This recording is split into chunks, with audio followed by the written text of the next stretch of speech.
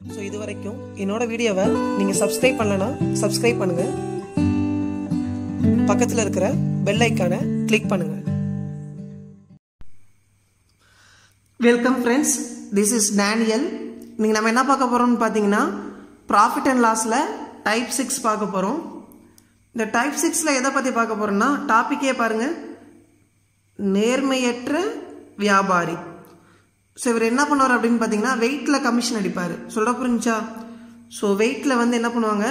Commission அடிப்பார். So அதனால நம்ம என்ன டாபிக் கொடுத்துருக்கோம்? நேர்மையற்ற வியாபாரி. இதில் ரெண்டு மாடல் இருக்குது மாடல் ஒன் மாடல் டூன்னு ரெண்டு மாடல் இருக்குது ஸோ ஃபஸ்ட்டு மாடல் என்ன அப்படின்னு பார்த்தீங்கன்னா தான் வாங்கின விலைக்கே விற்கிறது சொல்ல புரிஞ்சா ஸோ ஃபஸ்ட்டு மாடல் எது பார்த்தினது தான் வாங்கின விலைக்கே விற்கிறது செகண்ட் மாடல் என்னன்னு பார்த்தீங்கன்னா தான் வாங்கின விலையை விட ஒன்று அதிகமாக விற்பார் இல்லை கம்மியாக விற்பார் எகெயின் சொல்கிறேன் விலையை பற்றி சொல்கிறோம் ஃபஸ்ட்டு மாடல் வந்து தான் வாங்கின விலைக்கே விற்கிறது ரெண்டாம் மாடல் என்னென்னா தான் வாங்கின விலையை விட அதிகமாக இல்லைன்னா கம்மியாக விற்கிறது ஸோ ஓகே வாங்க நம்ம டாப்பிக்கில் போயிடலாம். ஸோ இப்போ ஃபஸ்ட்டு மாடல் எகெயின் சொல்கிறது எதை பற்றினது வெயிட்டில் கமிஷன் அடிக்கிறது. ஓகேவா ஒரு வியாபாரி தான் வாங்கிய விலைக்கே பொருட்களை விற்கிறார் இதில் முக்கியமான வார்த்தை இருக்குல்ல? வாங்கிய விலைக்கே என்ன பண்ணுறாரு விற்கிறாரு ஸோ வாங்கின விலைக்கே விற்றாருன்னா என்னது? வாங்கின விலையும் விற்ற விலையும் சேமாக இருக்கும். ஒரே மா ஒன்றா இருக்குமா? வாங்கின விலையும் விற்ற விலையும் எப்படி இருக்கும்? ஈக்குவலாக இருக்கும். சொல்ல புரிஞ்சா? தான் வாங்கின விலைக்கே விற்கிறாரு அப்படின்னா ரெண்டுமே எப்படி இருக்கும்? சமமாக இருக்கும். புரிஞ்சா? சரி. அப்போ எனக்கு விலையில் இங்கே லாபம் கிடைக்குமா? கிடைக்காது. சுட புரிஞ்சா? நான் வாங்கின விலைக்கே விற்கிறேன் அப்போ எனக்கு என்ன என்ன கிடைக்காது?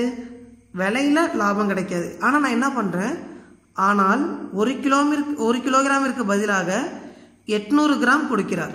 ஆனால் ஒரு கிலோகிராமிற்கு பதிலாக எட்நூறு கிராம் கொடுக்குறாரு. கஸ்டமர் ஒரு கிலோ கேட்குறாரு. ஆனால் இவர் என்ன பண்ணுறாரு எட்நூறு கிராம் கொடுக்குறாரு. அப்போ அவருக்கு என்னது? விலையில் லாபம் இல்லைனா கூட வெயிட்டில் லாபம் தானே. விலையில் லாபம் இல்லைனா கூட நம்மளுக்கு என்னப்பா? வெயிட்டில் லாபம். கரெக்டாக ஸோ அப்போ நம்ம லாபத்துக்கு என்ன ஃபார்முலா யூஸ் பண்ணுவோம்? Profit percentage equal to profit by cost price into என்ன வரும்? Hundred profit percentage equal to profit by cost price into hundred இது விலையில் சொல்கிறது ஆமாம் தானே? ஆனால் இங்கே விலை என்னது? வாங்கின விலைக்கே வாங்கின விலைக்கே விற்கும்போது நம்மளுக்கு விலையில் லாபம் கிடைக்காது. ஆனால் என்ன கிடைக்கும்? வெயிட்டில் கமிஷன் அடிக்கும். அப்போ வெயிட்டில் தான் இங்கே லாபம் கிடைக்கும். அப்போ நம்ம இந்த ஃபார்முலா யூஸ் பண்ணாமல் இதே ஜஸ்ட் மாற்றி எழுதணும். அப்போ இங்கே நம்மளுக்கு ப்ராஃபிட் பர்சன்டேஜுக்கு என்ன ஃபார்முலானா இங்கே ப்ராஃபிட் என்ன? எடை வித்தியாசம் தானே? ஒன்றும் இல்லை. இப்போ நான் ஒரு கிலோகிராம் கஸ்டமர் கேட்டிருக்காங்களா? ஒரு கிலோகிராம்னா எத்தனை கிராமு ஆயிரம் கிராம் நான் கொடுக்கறது எட்நூறு கிராம் அப்போ எனக்கு இது எவ்வளோ? அப்போ இங்கே நல்லா கவனிங்க. ஒரிஜினல் வெயிட் எவ்வளோ? ஒரு கிலோ ஒரு கிலோங்கிறது எத்தனை கிராமு ஆயிரம் கிராம் இது original weight false weight original வெயிட்டுங்கிறது உண்மையான எடை ஃபால்ஸ் வெயிட் வந்து தவறான எடை. ஸோ ஃபால்ஸ் வெயிட் எவ்வளோ? எட்நூறு கிராம் அப்போ எனக்கு எவ்வளோ லாபம்? ஆயிரம் கிராம் கேட்குறான் எட்நூறு கிராம் கொடுக்குறேன்னா அப்போ என் லாபம் எவ்வளோ இரநூறு கிராம் தானே. அந்த இரநூறு எப்படி சொல்கிறோம் ரெண்டு வெயிட்டோட டிஃப்ரென்ஸா அப்போ இங்கே என்னோட லா இங்கே என்னோட லாபம் என்ன? எடை வித்தியாசம். வெயிட் டிஃப்ரென்ஸ் வெயிட் டிஃப்ரென்ஸுங்கிறது எடை வித்தியாசம். Divided by cost price cost ப்ரைஸ்னால் எனக்கு என்னது? கஸ்டமர் கேட்கறது ஒரு கிலோ. ஆனால் நான் கொடுக்கறது என்னது? என் கையிலேருந்து கொடுக்கறது தான் என்றைக்குமே காஸ்ட் ப்ரைஸ் கஸ்டமர் வந்து ஒரு கிலோ கேட்டாலும் நான் எத்தனை கிராம் தான் கொடுக்குறேன்? எட்நூறு கிராம் தானே கொடுக்குறேன். அப்போ நான் கொடுக்குறதா நம்மளுக்கு என்னது? காஸ்ட் ப்ரை காஸ்ட் ப்ரைஸ் அடக்க விலை.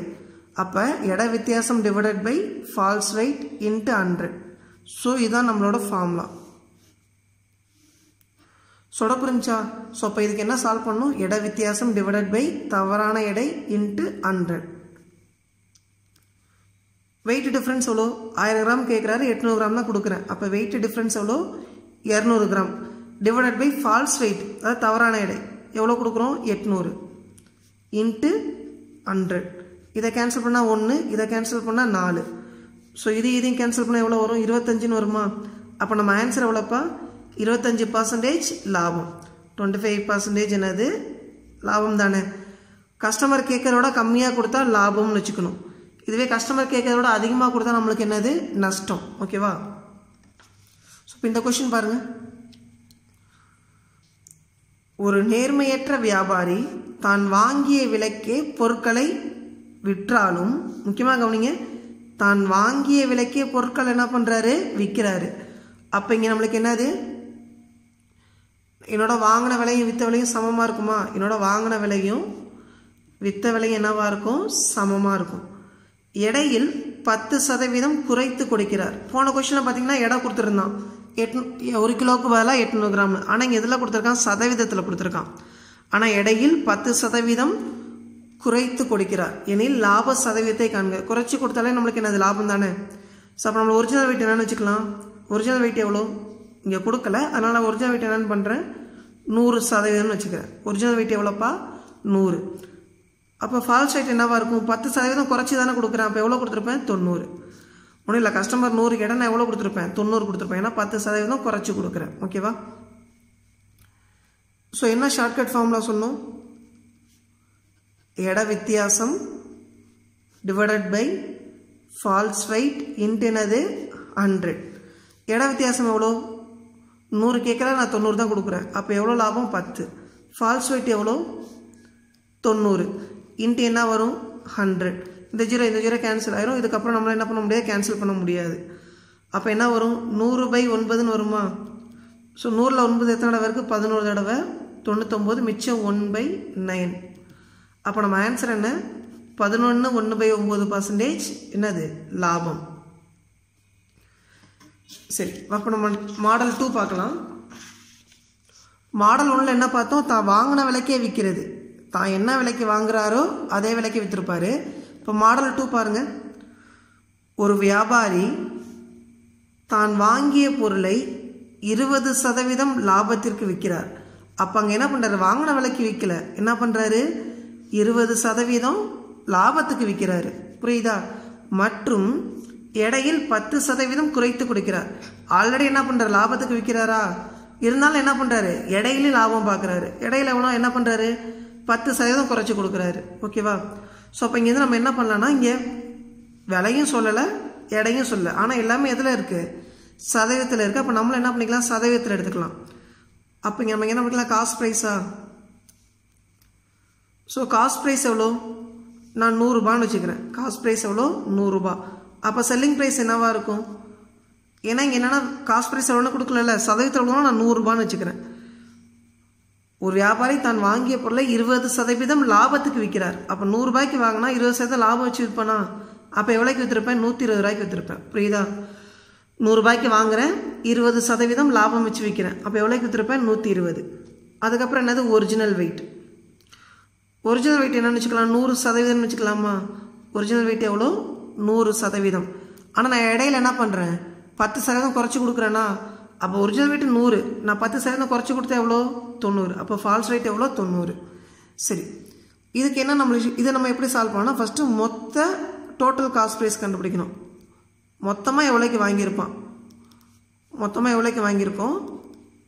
மொத்தமாக எவ்வளோக்கு விற்றுருக்கோம் ஸோ இங்கே என்னென்னா விகிதம் யூஸ் பண்ணுறேன் ஏன் விகிதம் யூஸ் பண்ணுறேன்னா ஸோ காமனான டேர்ம்லாம் கேன்சல் ஆகிட்டு பெரிய நம்பர் நம்மளுக்கு என்ன ஆகுனா சின்ன நம்பராக கிடைக்கும். மொத்த அடக்க விலை. டோட்டல் காஸ்ட் ப்ரைஸ் மொத்தமாக எவ்வளோக்கு வாங்கியிருக்கோம்? இல்லை மொத்தமாக நம்ம கையிலேருந்து எவ்வளோ போகுது? ஓகேவா நம்ம கஸ்டமருக்கு என்ன கொடுக்குறோம்? ஒரிஜினல் வெயிட்டாக கொடுக்குறோம். இதானே கொடுக்குறோம். ஃபால்ஸ் வெயிட் தானே கொடுக்குறோம். அதனால் ஃபால்ஸ் வெயிட் இன்ட்டு நம்ம கையிலேருந்து போகிறது என்னது? காஸ்ட் ப்ரைஸ் நம்ம வாங்கின விலை. செல்லிங் ப்ரைஸ் கஸ்டமர்கிட்ட தான் ஒரிஜினல் வெயிட் தானே சொல்லி கொடுக்குறோம். அவர் கேட்குற வெயிட்டுக்கு தானே கொடுக்குறோம். ஸோ ஒரிஜினல் வெயிட் இன்ட்டு நம்ம என்ன விலைக்கு விற்றுருக்கோம் ஓகேவா இந்த formula false weight into cost price is to விகிதம். Original weight into selling price false weight எவ்வளோ? நைன்ட்டி காஸ்ட் ப்ரைஸ் எவ்வளோ? Hundred is to original weight எவ்வளோ? ஹண்ட்ரட் செல்லிங் ப்ரைஸ் எவ்வளோ? ஒன் டுவெண்ட்டி ஓகேவா இப்போ இஸ்ட் கேன்சல் பண்ணி ஹண்ட்ரட் ஹண்ட்ரட் கேன்சல் ஆயிரும். ஸோ முப்பதால் கேன்சல் பண்ணால் இங்கே மூணு தடவை. இங்கே முப்பதால் கேன்சல் பண்ணால் நாலு தடவை. அப்போ நம்ம ஆன்சர் என்ன வரும்? த்ரீ இஸ்ட்டு ஃபோர்னு வருமா? அப்போ மொத்தமாக எவ்வளோ விலைக்கு வாங்கியிருக்கேன்? மூன்று ரூபாய்க்கு வாங்கியிருக்கேன். மொத்தமாக எவ்வளோக்கு விற்றுருக்கேன் நாலு ரூபாய்க்கு விற்றுருக்கேன் இது நார்மலாக மல்டிப்ளை பண்ணிங்கன்னா இங்கே கொஞ்சம் பெருசாக வரும். இங்கே தொண்ணூறு இன்ட்டு நூறு எவ்வளோ வரும்? ஒம்பதாயிரம் இங்கே நூறு இன்ட்டு பன்னெண்டு நூற்றி எவ்வளோ வரும்? பன்னெண்டாயிரம். அப்போ ஒம்பதாயிரம் பன்னெண்டாயிரம் கொஞ்சம் பெருசாக போகுதா?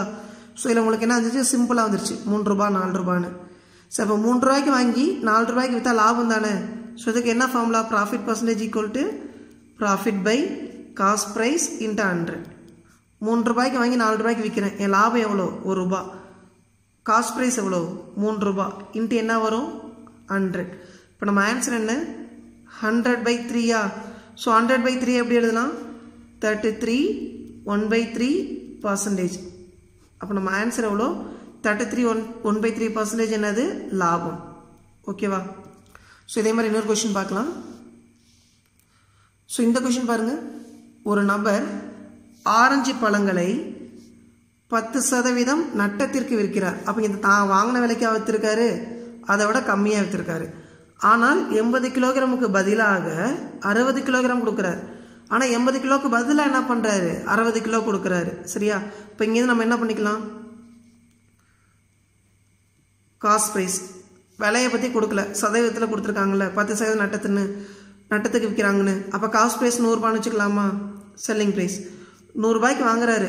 பத்து சதவீதம் நட்டத்துக்கு விட்டா விட்டு தவித்தா எவ்வளோ தொண்ணூறுரூபா நூறுரூபாய்க்கு வாங்குறாரு. பத்து சதவீதம் லாஸில் விற்கிறாரு அப்போ எவ்வளோக்கு விற்றுருப்பாரு தொண்ணூறுரூபா அதுக்கப்புறம் ஒரிஜினல் வெயிட் எவ்வளோ ஒரிஜினல் வெயிட் எண்பது கிலோ. ஆனால் நம்ம கொடுக்கறது நம்ம கொடுக்கறது எவ்வளோப்பா? அறுபது கிலோ.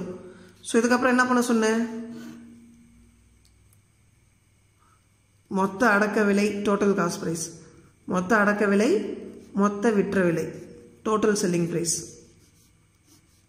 மொத்தமாக அடக்க விலைக்கு என்னப்பா சொன்னோம் false weight into cost price selling ப்ரைஸுக்கு என்ன சொன்னோம் original weight into selling price false weight எவ்வளோ சிக்ஸ்டி காஸ்ட் ப்ரைஸ் எவ்வளோ ஹண்ட்ரட் ஒரிஜினல் வெயிட் எவ்வளோ எயிட்டி செல்லிங் ப்ரைஸ் எவ்வளோ நைன்ட்டி இப்போ கவனிங்க இந்த டபுள் ஜீரோ இந்த டபுள் ஜீரோ கேன்சலா ஸோ நாலால் கேன்சல் பண்ணால் இங்கே ரெண்டு தடவை இங்கே நாலால் கேன்சல் பண்ணால் பதினஞ்சு.